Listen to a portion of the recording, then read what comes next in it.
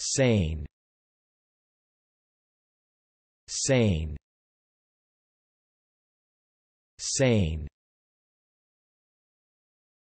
Noun. Definition. A fishing net which hangs vertically in the water with floats at the top and weights at the bottom edge, the ends being drawn together to encircle the fish. Example. A seine boat.